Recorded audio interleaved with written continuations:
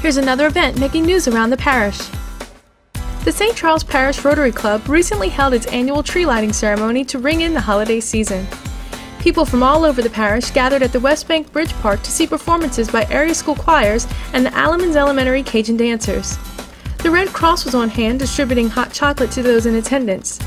During the event, the Rotary Club made donations to the United Way of St. Charles, the parish's Toy and Gift Fund Drive, and Polio Plus.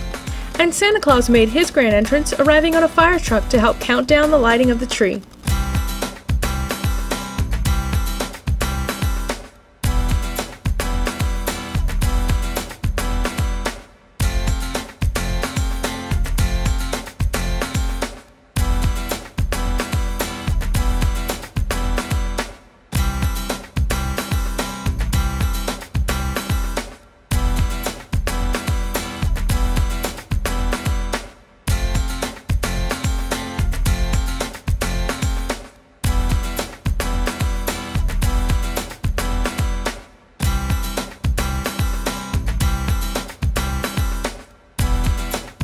More information on this and other events making news around the parish, visit www.stcharlesparish-la.gov.